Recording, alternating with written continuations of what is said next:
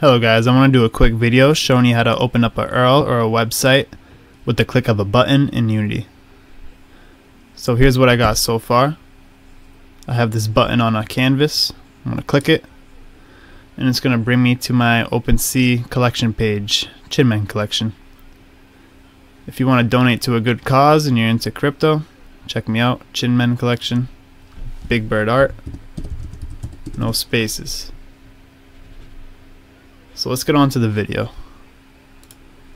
So to do this is very simple. It just involves one line of code. So first thing you're going to do is right click, create C sharp script.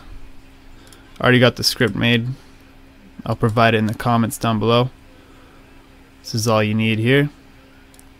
Application, the game. It's going to open up the URL once we call this function here. So I'll provide it in the comments down below. So now all you need is a canvas and a button. So to do that, right click UI canvas. Inside the canvas, right click UI button.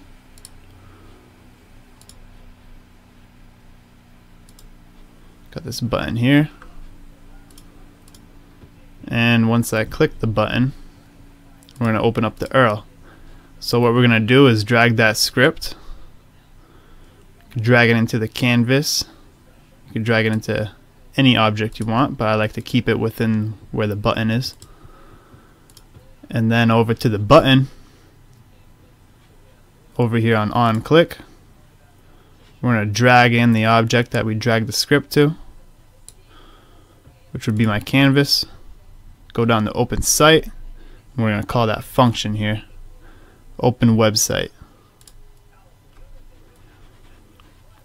So now, once I press that button, it should take me to a website.